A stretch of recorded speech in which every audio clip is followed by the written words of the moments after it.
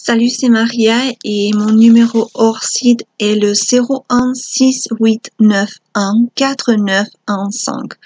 Je viens vous parler du premier auteur de la première partie de, de, ma thèse, la partie qui concerne les controverses en Espagne au XVIe siècle.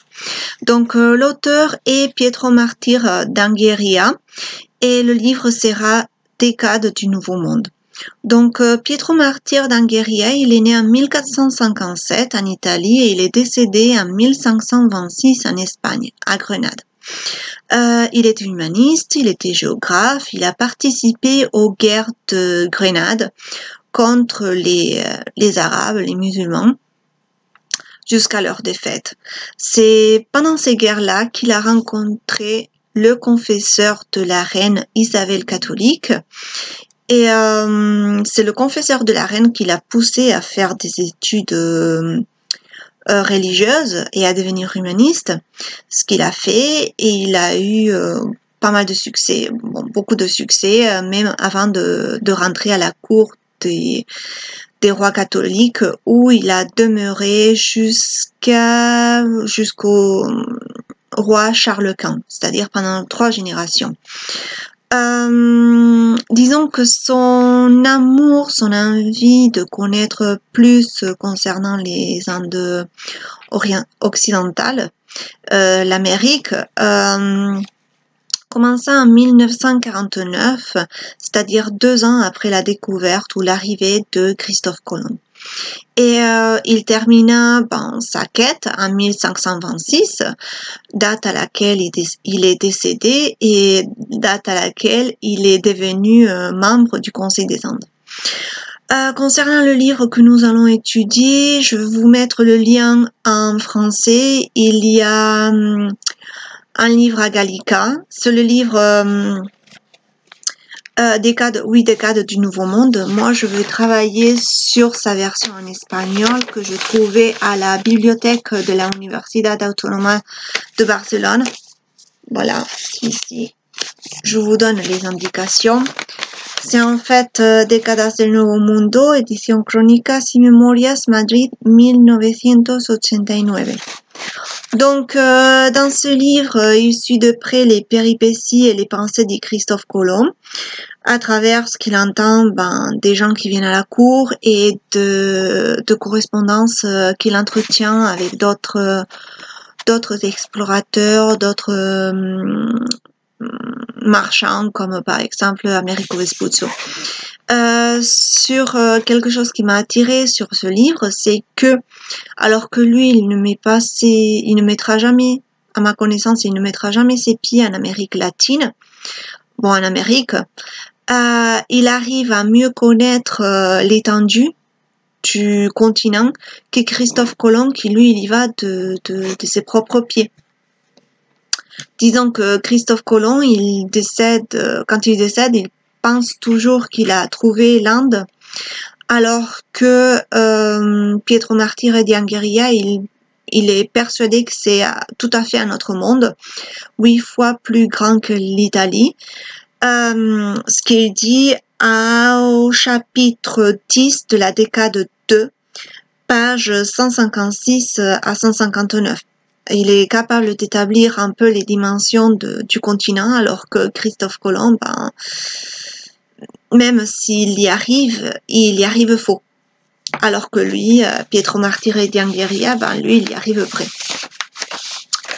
Je veux passer maintenant au point qui nous intéresse. Je suis en train de me dire que euh, j'ai pas organisé l'exposition le, en biographie, livre et puis par qui nous intéresse. Bon, je l'ai fait un petit peu en retard. Euh, bon, mais là, nous sommes dans la part qui, qui m'intéresse concernant les gens qui s'est trouvé en Inde avant l'arrivée, lorsque les premiers explorateurs sont arrivés. Ce, ce que l'auteur en dit d'eux. Et aussi, j'aimerais bien euh, soulever, euh, bon, faire ressortir le nom d'une personne, un explorateur, qu'il aime bien, mais que qu'il ne, qui ne sera pas considéré comme tel en Espagne, mais après, euh, dont l'histoire change si on vient en Angleterre, d'accord? Donc, euh, concernant, euh, disons, trois petits A, euh, concernant les, les, gens qui se trouvaient en Amérique lorsque, lorsque les, les premiers explorateurs, les premiers hommes sont arrivés, ben, on peut trouver euh, des petits indices, pas grand-chose, par exemple, à la troisième décade, page 166, il dit euh, qu'ils ont trouvé des esclaves noirs. C'est très choquant parce que euh, s'il existe toute une euh, littérature euh, concernant les Indiens pour savoir s'ils peuvent ou ne pas peuvent devenir esclaves, qui est liée à ce que les rois catholiques, ils aient défendu les Indiens de, l'esclavage, à ma connaissance. Euh, lorsque Christophe Colomb il est arrivé en Amérique, il a ramené avec lui 16 Indiens qu'il a tenté de vendre comme esclaves ou qu'il a vendu comme esclaves et les rois catholiques euh, lui ont demandé de remettre ces Indiens à leur habitat euh, naturel chose qui a dû être faite normalement, qui aurait dû être faite normalement. Je ne sais pas si ça a été fait ou pas, je n'ai pas suivi.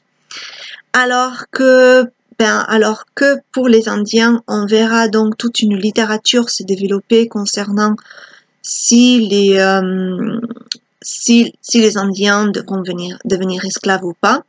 Et ben pour les, les Noirs qui se trouvent en Amérique, ben, il n'y a pas de, d'autres issues, quoi. Ils sont esclaves, point, c'est tout.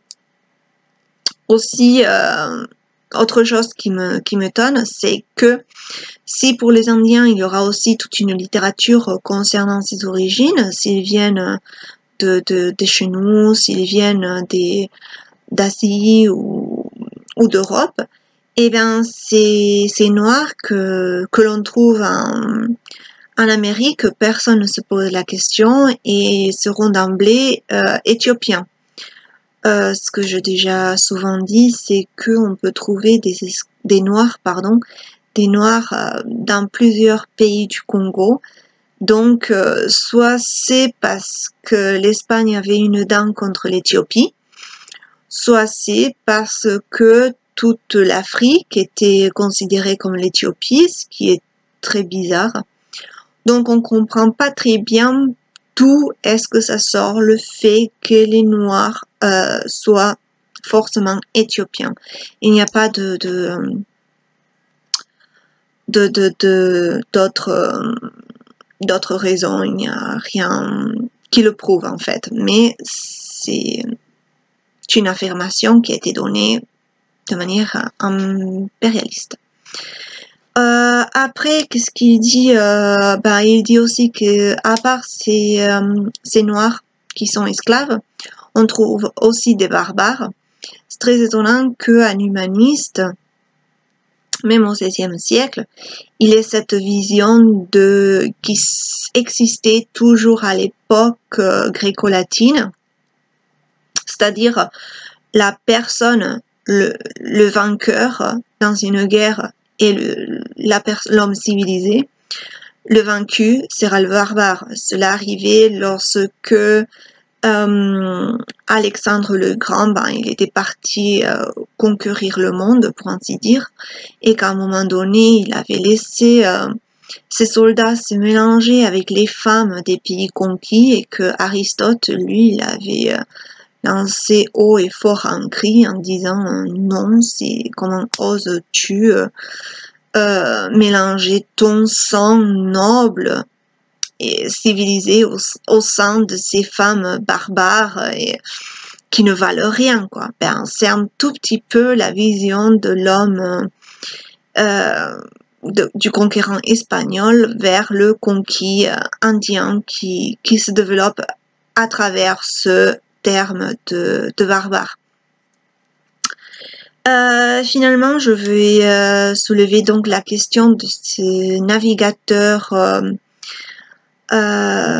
aussi euh, aimés de des pieds euh, eh ben, j'oublie comment on dit en, en italien. Désolée. De Pietro, ouais, Pietro Martire d'Angheria, euh, qui est le, qui est Sébastien Cabot. Ne nous confondons pas avec le, le pirate dont j'avais oublié le nom dans la vidéo précédente, qui était Francis Drake. S'il vous plaît, c'est deux choses totalement différentes. Donc là, Sébastien Cabot, c'est très, euh, très marrant parce que il, euh, on voit qu'il apprécie beaucoup.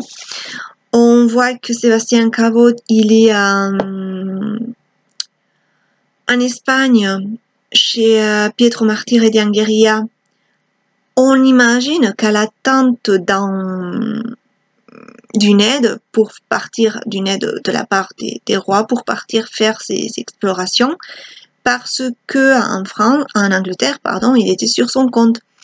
On sait qu'il est parti avec deux bateaux, euh, qu'il a fait la mer du Nord, qu'à un moment donné, il pouvait pas continuer dans la mer du Nord parce qu'il y avait de, des icebergs. Il est descendu. Euh, il est descendu vers le midi et ensuite il est parti et il a il l'a nommé parce que tout au moins dans mon livre euh, espagnol jamais il en est question de découverte. Jamais il en est question de découverte euh, jamais il en est question d'exploration. Donc euh, voilà il a nommé des îles euh, appelées Bacalaos, Bacalhaos en, portugais. Je suis toujours oublié comment on dit en français. Désolée. Et euh, donc, euh, il, a nommé, il a nommé ces îles-là. Et, euh, et puis, on sait qu'en 1516, il s'apprête pour un autre voyage et que finalement, il partira en 1526. Mais euh, à nul moment, il en est question d'exploration, il en est question de, découverte. Pour, euh, pour euh, Sébastien Cabo, que euh, Pietro Martire d'Angleria aime bien, et même c'est très marrant parce que il, est attaché de manière nationaliste à lui, car il dit que il est, euh, il est né en, il est italien, mais qu'il est parti euh, tout petit en Angleterre. Ce dont on sait jamais. Par contre, malgré cet attachement, et c'est là que je voulais bien terminer, son, ça va être un très très court exposé parce que en fait, j'ai déjà fait, euh, j'ai déjà fait l'exposé avant, mais j'étais malade. J'ai dit n'importe quoi, donc j'ai tout effacé je recommence à zéro. Donc, euh, je veux terminer la conclusion de ce petit exposé, c'est que si bien euh, Pietro Martire et Diangheria euh, aime bien euh, Sébastien Cabot, il ne lui donnera jamais une place égale à celle de Christophe Colomb.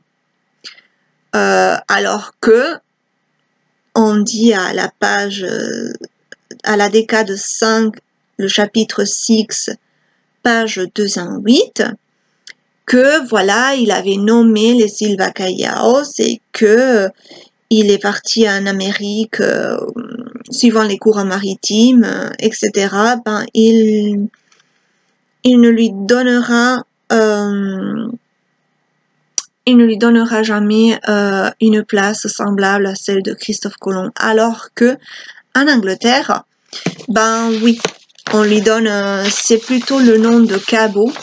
Je, au début, dans la première vidéo, je m'étais trompée, j'avais euh, confondu Sébastien Cabot avec John Cabot. Mais non, en fait, John Cabot est, est, le père de Sébastien Cabot. Donc, je dirais là, dans cette vidéo, c'est que on donnera à la famille Cabot la même renommée qu'on aurait donné en Espagne à la famille Colomb.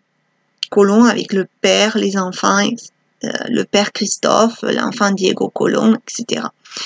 Et ça, je le remarquais dans deux livres que je trouvais dans la bibliothèque. Euh, pour m'appuyer sur ça, je vais faire appel à deux titres de deux livres que je mettrai aussi en commentaire. En guise de commentaire,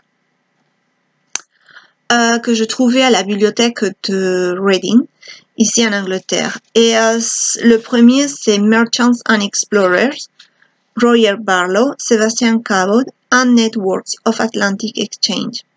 Donc, on lui donne déjà de le titre une, une d'explorateur. Le deuxième, c'est John Cabot's Discovery of North America. Donc, et celui-là, il a une puissance, euh, pour moi, ce titre, il est très, très, très puissant parce que euh, son père, il avait déjà découvert le nord de l'Amérique. On dit pas l'année, on dit pas, je pense que si je regarde sur Internet, c'est 1497 mais c'est quelque chose de fort parce que euh, certains livres disent que la, que la découverte de l'Amérique était passée trop inaperçue. Là, on voit que les, euh, la, la, littérature anglaise essaye de se rapprocher dans le temps de la littérature euh, espagnole par rapport à la découverte de l'Amérique.